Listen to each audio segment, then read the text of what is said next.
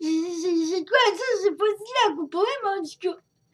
Moi, là, je voulais partager quelque chose parce que moi, en réalité, là, hein, je suis pas, euh, j'hésite pas. C'est juste un message comme ça qui arrive subitement comme ça quand tu regardes ton écran. C'est ça.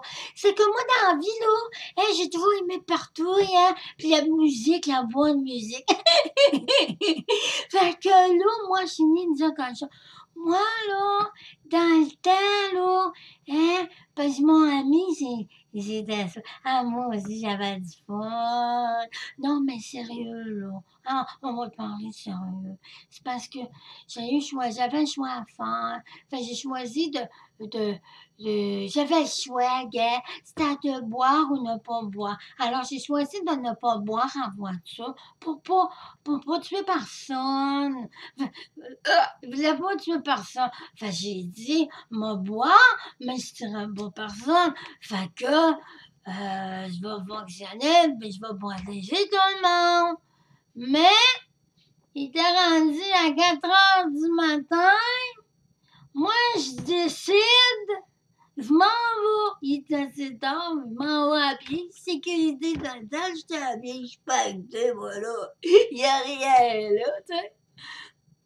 Je m'en vais, mais disons que, oups, ça tourne un peu. Alors, là, je vois la lumière. Moi, je pensais que la lumière était verte.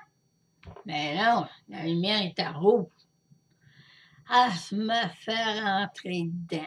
Je me retrouve avec le Seigneur. Assise à la droite. C'est pour ça qu'il m'a envoyé faire ce message-là. Aujourd'hui, te dire que. Écoute, c'est un problème avec la boisson. Comme tu peux voir que tu sois euh, en auto, à pied, boire ça des risques. Fait que entre moi et toi, là, aide-toi. Appelle alcoolique anonyme.